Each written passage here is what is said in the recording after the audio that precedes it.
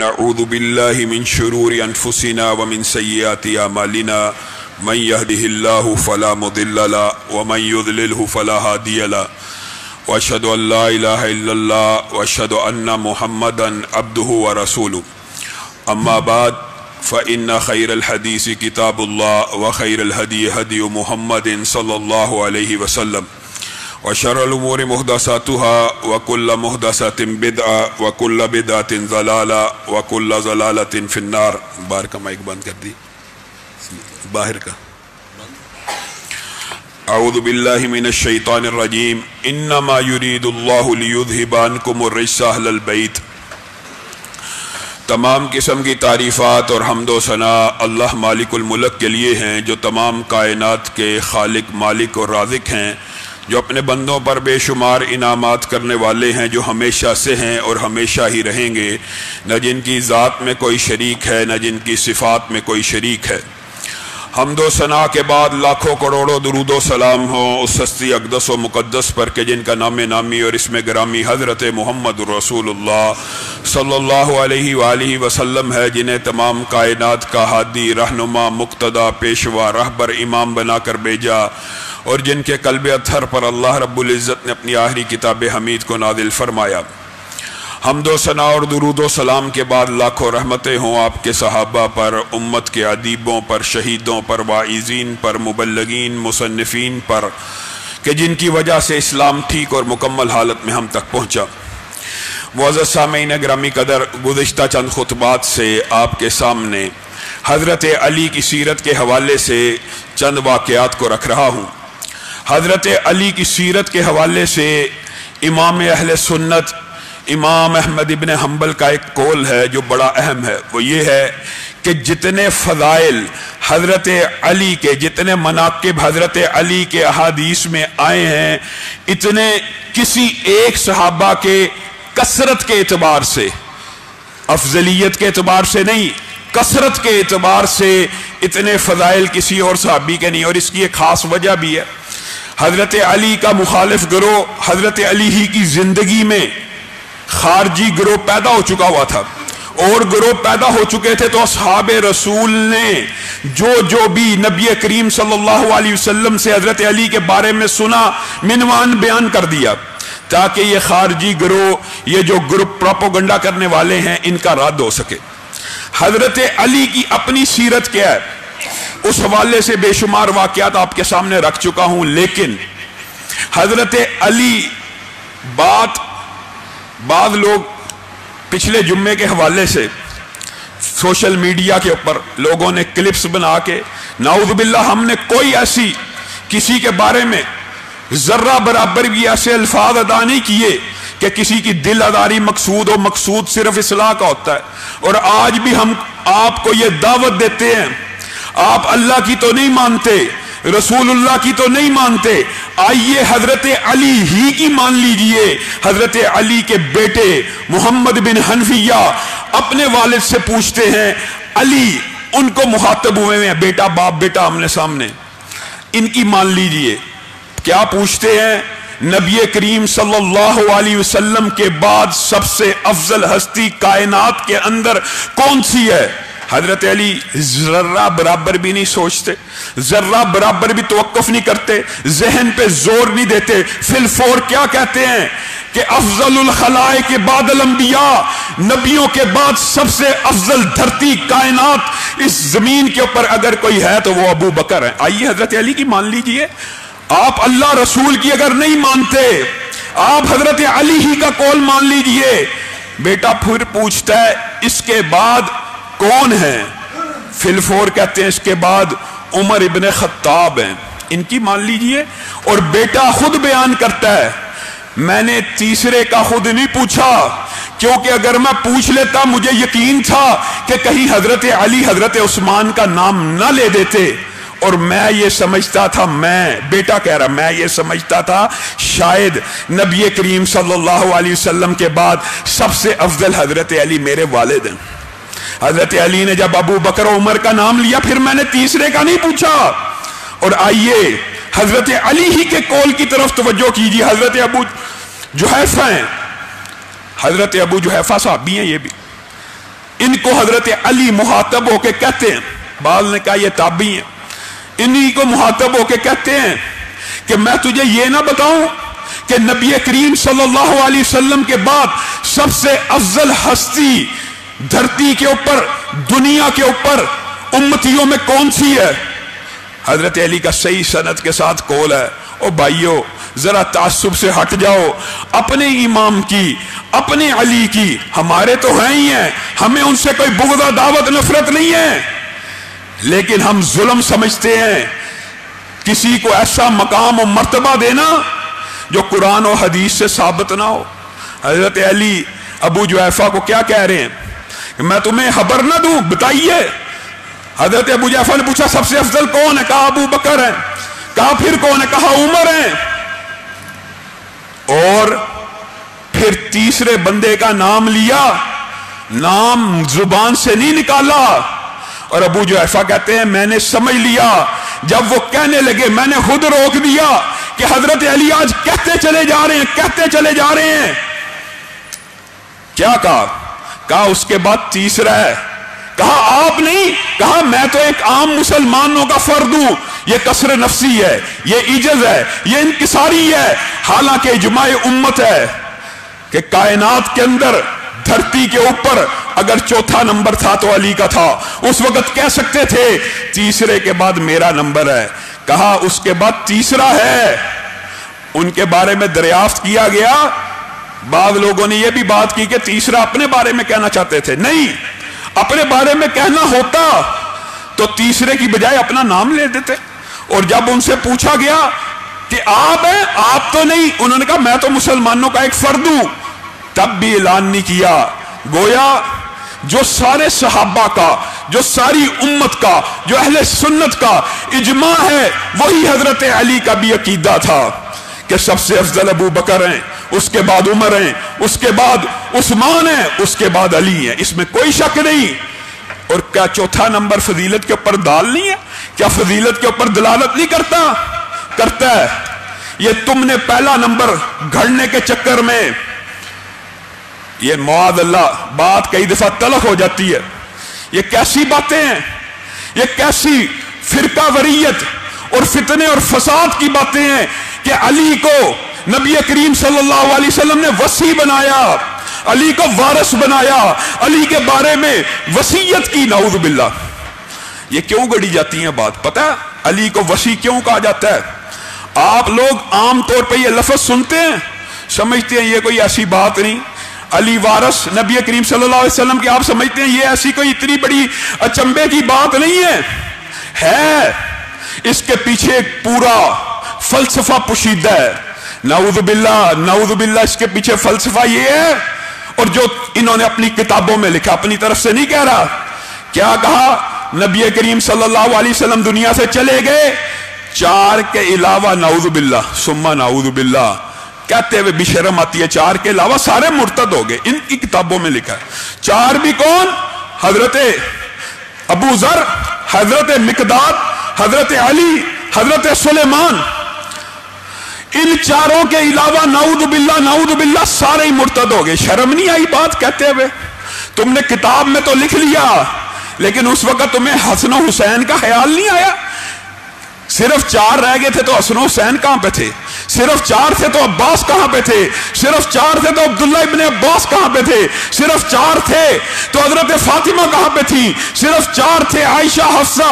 ये एक अकीदा गड़ा गया, अकीदा गड़ा गया है कि हज़रत अली वसी थे, सारे सहाबा ने नबी करीम सल्लल्लाहु अलैहि वसल्लम की वसीयत का नाउदबिल्ला इनकार किया, उनको हलीफा नहीं माना। और नाउदबिल्ला नाउदबिल्ला सुम्मा नाउदबिल्ला उनका ईमान इस तरह का फलसफा, इस एक लफज के पीछे गढ़ा जाता है। और लोगों, अंबिया की विरासत नहीं होती। नबी कोई विरासत भी नहीं छोड़ते, ये बात भी याद रखिए। और हज़रत अबू बकर ने इस अकीदे का इजहार उसी वक्त कर दिया, जब उम्मातुल मोमिनीन कहती हैं कि खलीफा बन गए। तो उन्होंने आपस में मशवरा किया कि हज़रत अबू बकर के पास पैगाम भेजा जाए कि नबी करीम सल्लल्लाहु अलैहि वसल्लम की विरासत तकसीम कर दी जाए। उनकी अजवाज मुतहरात।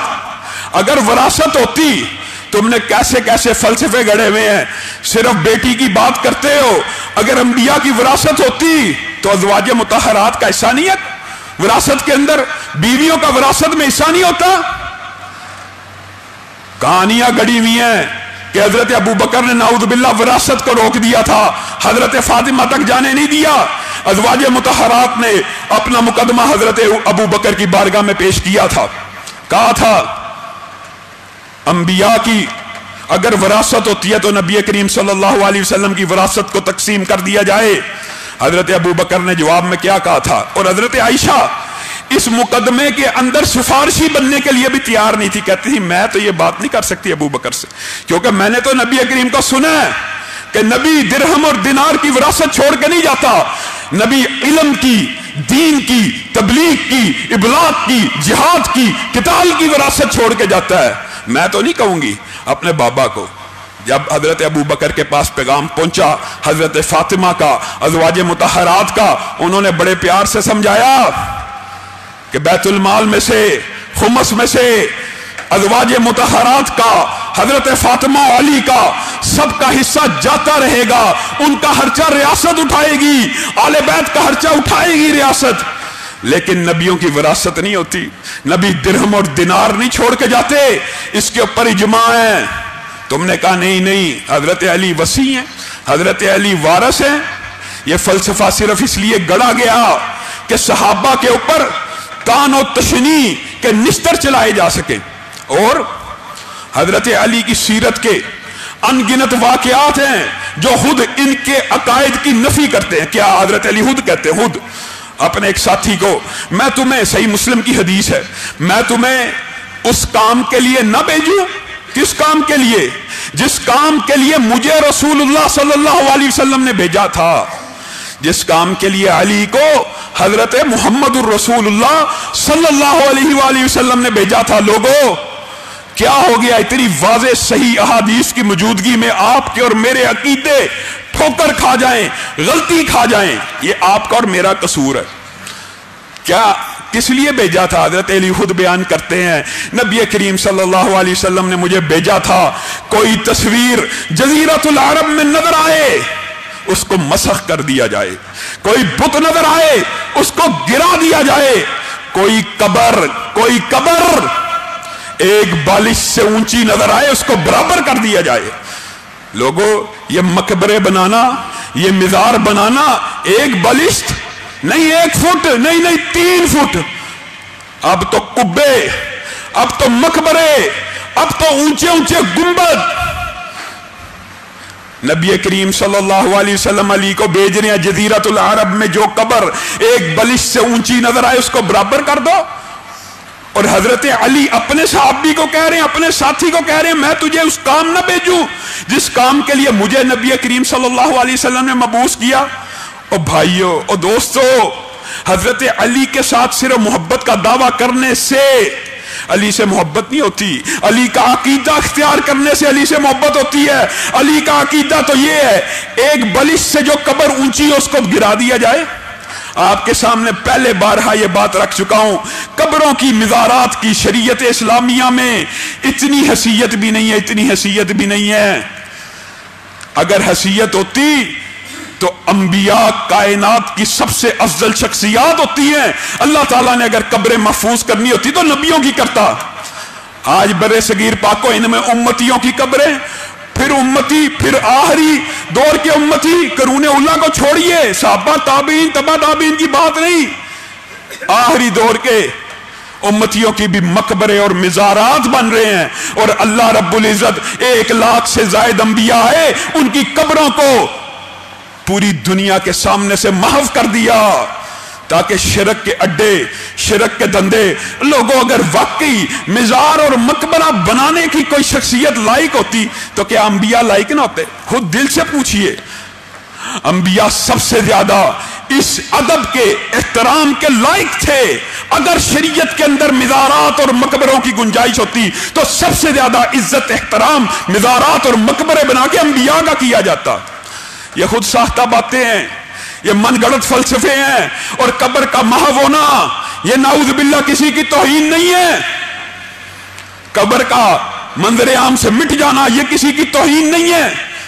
अगर तोहीन होती तो अल्लाह रब्बुल इज़्ज़त लाखों अंबिया की मिटा देता। हज़रत दानियाल का वाक्य हज़रत उमर के दौर में पेश आया। हज़रत उमर ने उनकी कब्र को लोगों के सामने से महफ कर दिया। कहा, दस बारह कब्रें खोदना। उनमें से एक में दाखिल करना सबको बराबर कर देना। लोगों को याद भी ना रहे कि दानियाल की कब्र कौन सी है। ये इस्लाम है, ये शरीयत है। आप अल्लाह की भी नहीं मानते। अफसोस और दुख की बात है, या युहन्नास अंतुमुल फुकारा। अल्लाह कह रहा है, लोगो, तुम फकीर हो। ए लोगो, तुम फकीर हो, आम लोगो, या युहन्नास जो ग्रामर जानता है। यहाँ पे अलीफलाम का मतलब लाम इस्तगराक का मतलब हर बंदे को पता है, या युहन्नास के अंदर मुखातिब अल्लाह किन से है? क्या या युहन्नास से मुराद सिर्फ़ मैं और आप हैं? क्या नास में अलिया नहीं है? क्या नास में शहीद नहीं है? क्या नास में अंबिया नहीं है? क्या नास में अली और साहबा नहीं है? या अयुहन्नास अंतुमुल फुकारा। तुम सब फकीर हो, तुम सब फकीर हो। किसके? अल्लाह के। अल्लाह कह रहा है, यार अल्लाह की मान लो। अंतुमुल फुकारा तुम सब अल्लाह के दर के फकीर हो। वल्लाहुल हमीद। सिर्फ़ अल्लाह है। सिर्फ़ अल्लाह है, जो किसी के दर का फकीर नहीं है। यहाँ पे क्या अली मुस्तना है? क्या नबी करीम, अंबिया मुस्तसना है? क्या हज़रत मूसा मुस्तसना है? रब्बी इन्नी लिमान जलता मिन खैरिन फकीर। हज़रत मूसा कह रहे अल्लाह, मैं तेरे दरबार का, मैं तेरे दर का फकीर हूँ। नबी भी अगर किसी के फकीर हैं तो रब की जात के, रब के दरबार के, रब के आस्थाने के अल्लाह तो ये कह रहा है, पूरी दुनिया, पूरी इंसानियत अल्लाह के दर की फकीर है। नहीं नहीं नहीं, मुश्किल कुशा। या अली भी हैं, या अली मदद, अली मुश्किल कुशा है, अली शेर खुदा, बाकी बातें तो दुरुस्त।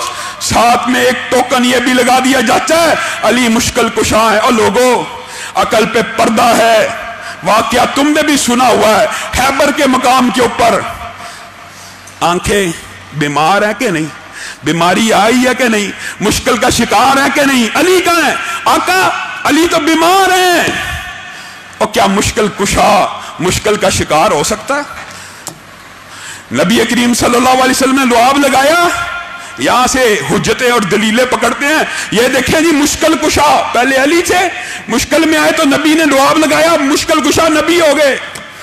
नाउद बिल्ला सुम्मा नाउद बिल्ला यही नबी इसी मकाम के ऊपर हज़रत अली को जिहाद के मैदान में, खैबर में, मरहब के सामने उतार कर खामोश बैठ गए हैं। पेशीन गोई कर चुके हैं। वही आ चुकी हुई है कि मैं उस बंदे को अलम दूँगा जिसके हाथ से हैबर फतेह होगा। लेकिन इसी पे बस कर दिया, नहीं। अल्लाह की कसम, नबी करीम सल्लल्लाहु अलैहि वसल्लम अली को बेच के सजदे में है।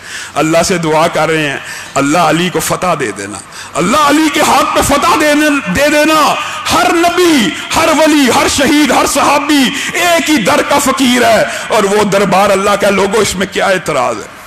इस बात के ऊपर झगड़ा करते हो इस बात के ऊपर हमारी जान के दुश्मन बने हुए हो कि हम तुम्हें कहते हैं कि दर दर के आगे ना झुको मखलूक के आगे ना झुको एक अल्लाह की इबादत की तरफ़ आ जाओ।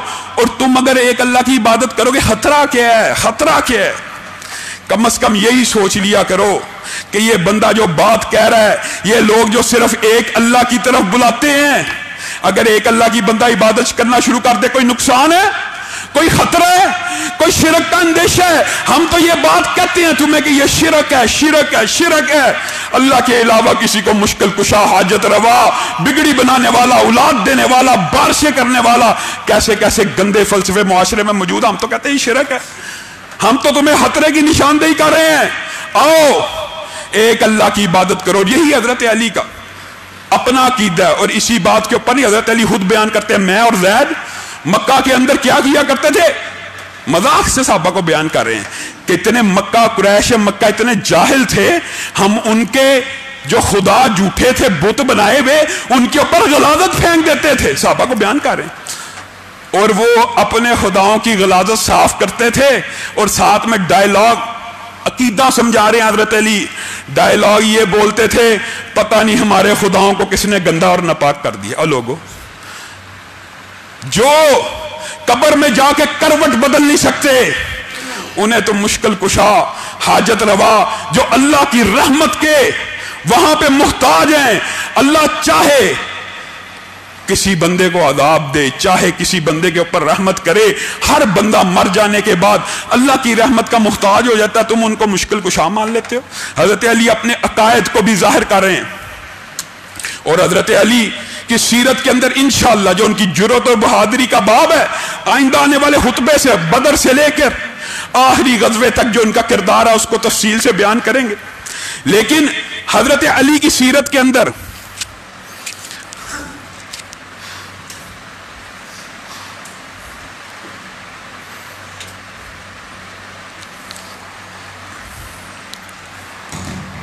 बहुत से वाकयात ऐसे हैं जो हज़रत अली के ज़ाती इजतहादात से भी ताल्लुक़ रखते हैं। एक हज़रत अली का बड़ा मशहूर इजतहाद है चूँकि उनकी सीरत का तस्करा हो रहा है, इसलिए हम उनके बाद इजतहादात को भी बयान करेंगे।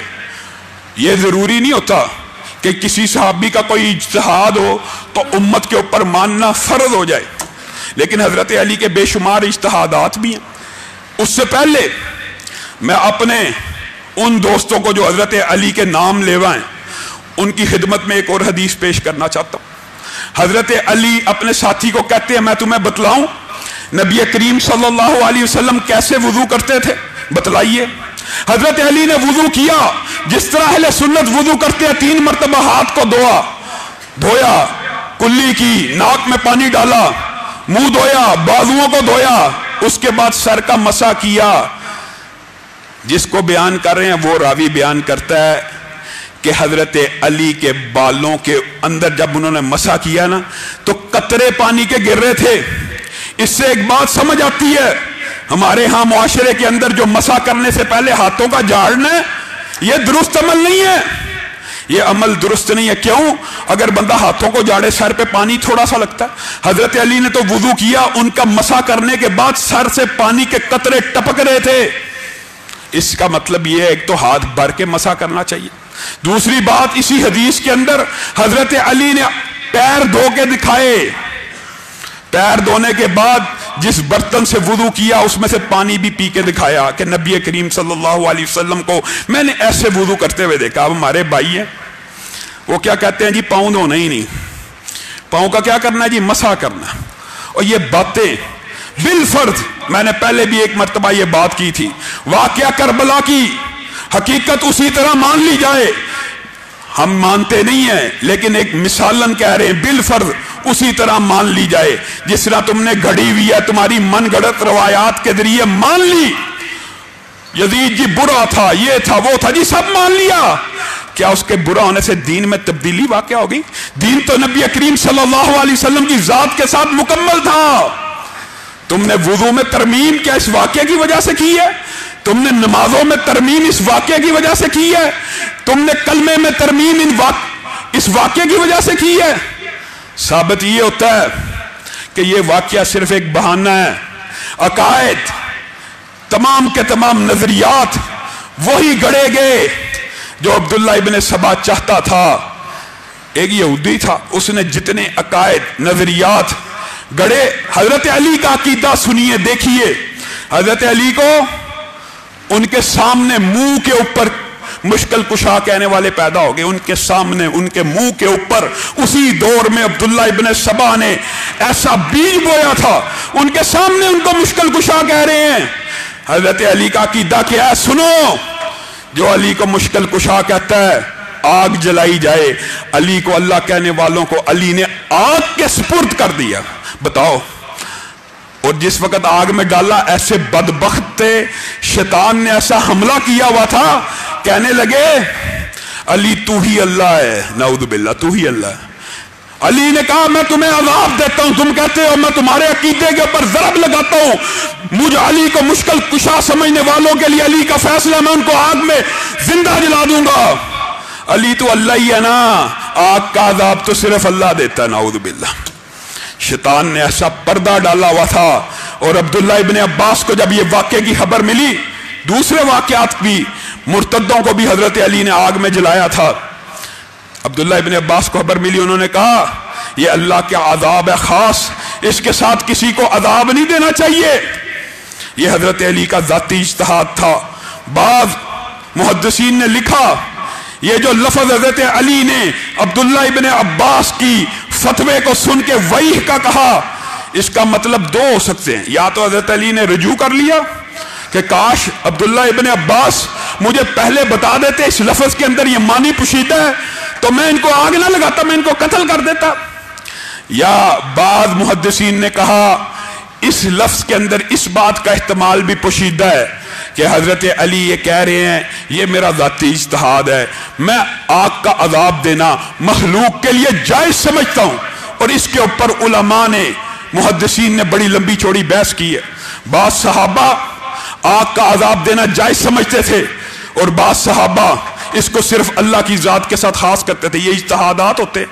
इन मामला के अंदर अगर सहाबा का आपस में इख्तलाफ हो जाए, हमारे लिए फैसल कौन है? नबी करीम सल्लल्लाहु अलैहि वसल्लम की हदीस हम तक पहुँच चुकी है कि ये अल्लाह के अदाबों में से एक अदाब है। ये किसी मखलूक को नहीं देना चाहिए।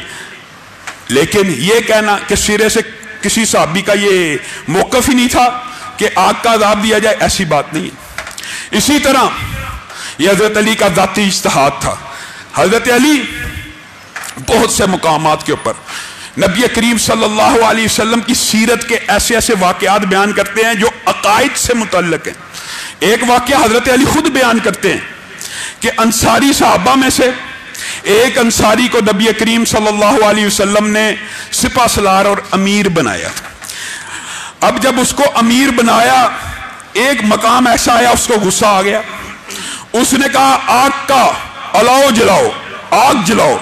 हज़रत अली इस हदीस के इस वाक्य के रावी हैं। बयान अकायद के मसाइल में कर रहे हैं। बयान करने का एक खास मकसद है। बहुत बड़ा कीदे का बाब है, बहुत बड़ी बात है। इस एक हदीस से अकायद के और अमाल के बहुत बड़े फितने का सदे बाब हो जाता है। आप और मैं अगर सिर्फ़ इस एक वाक्य को समझ ले, हमें पता चल जाए कि रसूलुल्लाह सल्लल्लाहु और अल्लाह की इतात किस कदर अहमियत की हामिल है। और अतात का तरीका क्या होना चाहिए, वो भी इस वाक्य से मिलता। है अंसारी ने कहा, आपका अलाओ जलाओ।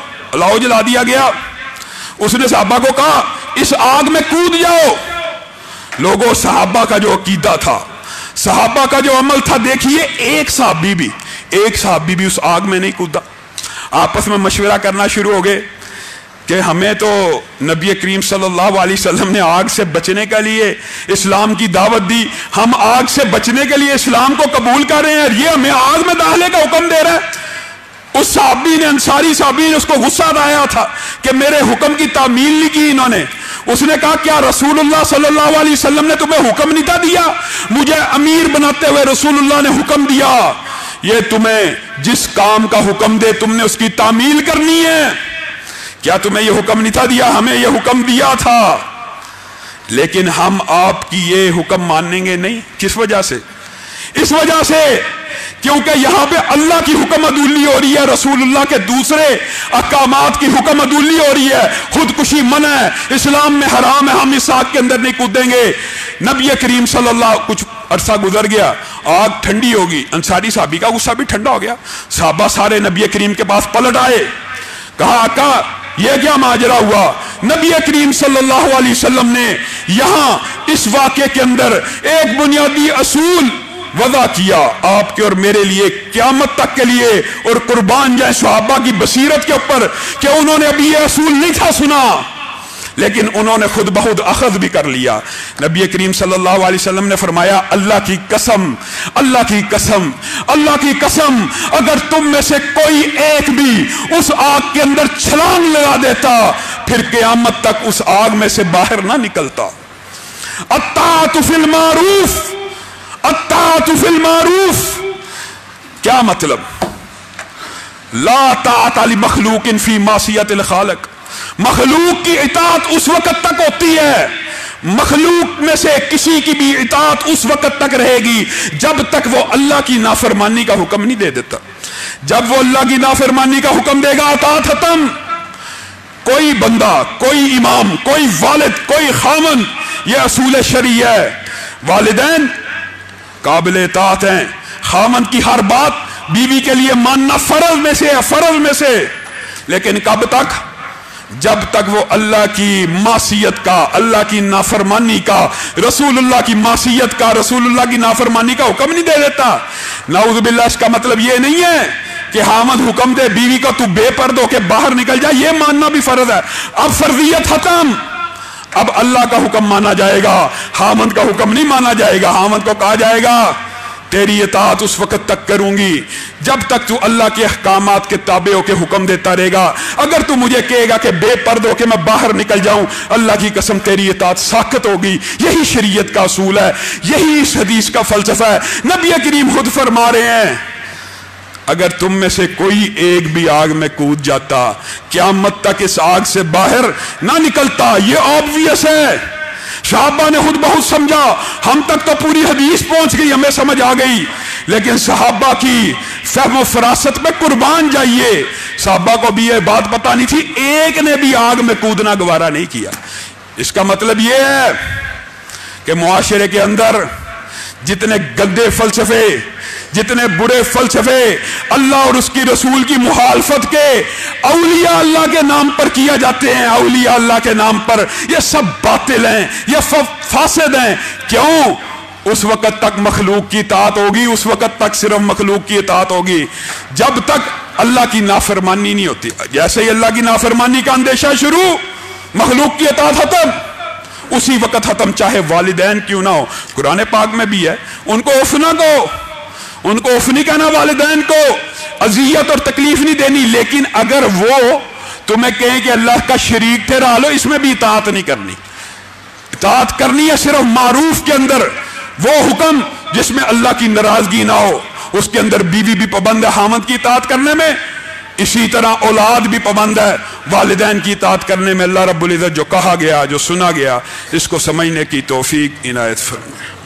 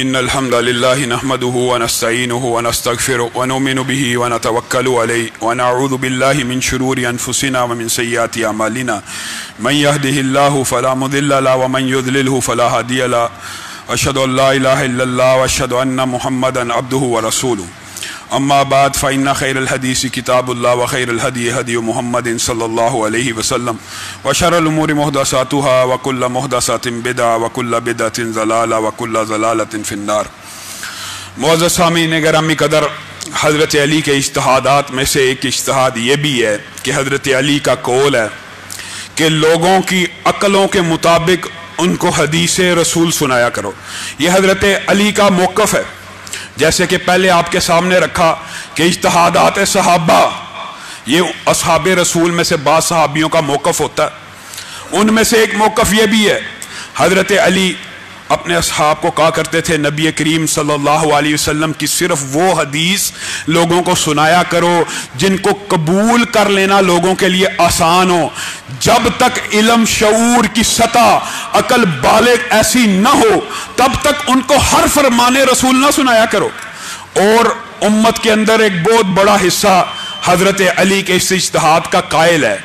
और दूसरा हिस्सा ऐसा मुहदसिन का पैदा हुआ, जिन्होंने कहा हमारे लिए सिर्फ़ ये है कि हम रसूलुल्लाह सल्लल्लाहु अलैहि वसल्लम की बात जैसे सुनी, मिन व अन, वैसे ही आगे पहुँचा दी जाए, क्योंकि रसूलुल्लाह सल्लल्लाहु अलैहि वसल्लम ने फरमाया था, जो मेरी बात को आगे पहुंचाएगा, अल्लाह उसके चेहरे को तरा ताज़ा रखे। ये नबी करीम की दुआ है। दो गुरु उम्मत में इस इश्तहाद के हवाले से मौजूद है।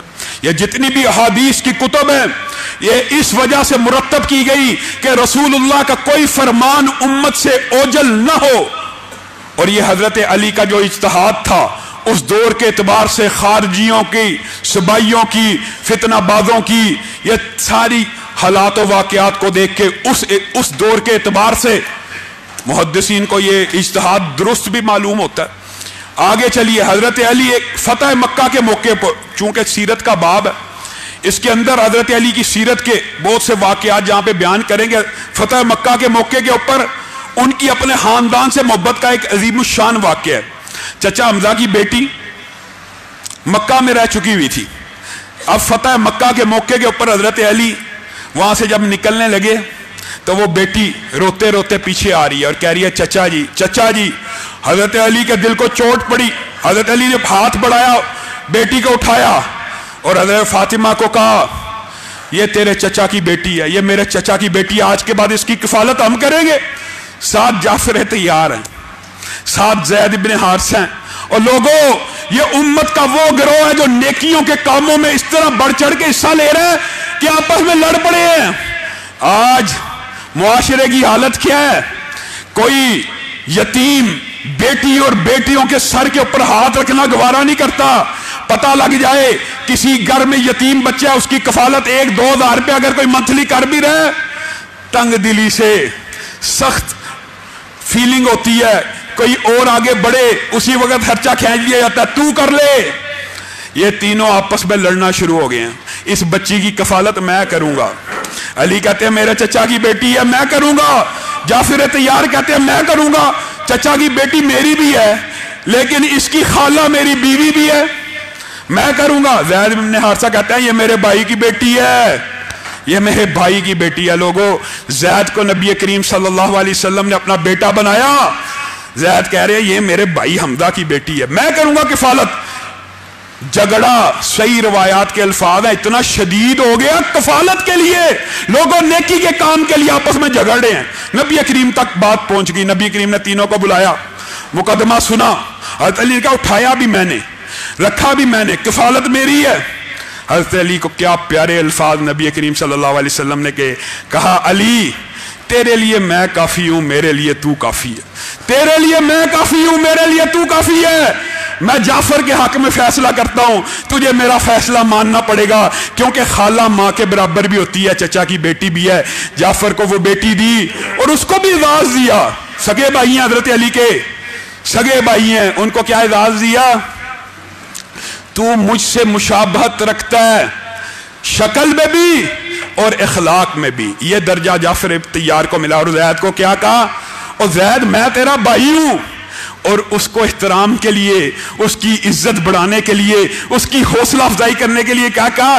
तू हमारा मौलाना है। जैसे हम कहते हैं किसी को इज़्ज़त देने के लिए, मौलाना साहब, जैद को कहते हैं, तू मेरा भाई भी है और मेरा मौलाना भी है। ये फैसला किया बात आई है। तो ये भी बतलाता चलू, हज़रत अली कुल चार भाई थे। और तरीख दानों ने यहाँ पे एक बड़ा अजूबा ज़िक्र किया। अजायब में से है कि हज़रत अली के जो चारों भाई हैं, तालिब, अकील, जाफ़र और अली, ये चार भाई हैं। इनके अंदर एक तरीही अजूबा ये है, इनमें से हर भाई दूसरे भाई से दस साल बड़ा। तालिब जो है, वो अकील से दस साल बड़े हैं, अकील, जाफ़र से दस साल बड़े हैं, और जाफ़र, अली से दस साल बड़े हैं, अली सबसे छोटे। ये बाद लोगों ने एक नुकता लिखा है। और बात आई है तो जाफ़र तैयार का ज़िक्र है। उनका ज़िक्र करके मैं अपनी बात को खत्म करूँगा। हज़रत जाफ़र को, ये पता कौन है जंगे मोता के अंदर? नबी करीम सल्लल्लाहु अलैहि वसल्लम ऐसे सिपा, सलार और लीडर नहीं थे।